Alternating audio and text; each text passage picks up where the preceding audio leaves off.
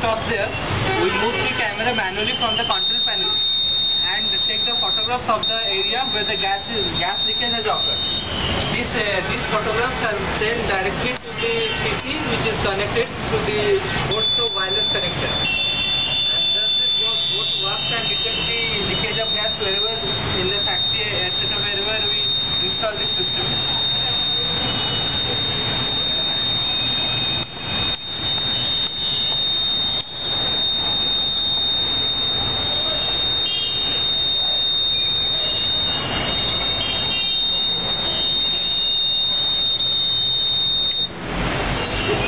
Thank you.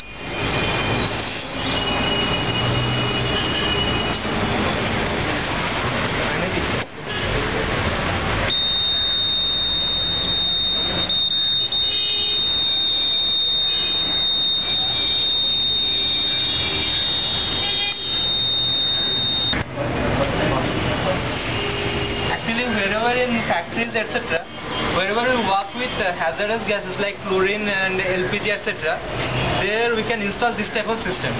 Even uh, if there is a gas leakage, this, this system can monitor the uh, area and can detect the leakage. If there is leakage, the sensor detects the gas and automatically buzzer ring and also a buzzer fitted at the control panel rings there this boat, uh, the camera fitted on the boat can be moved manually from the control panel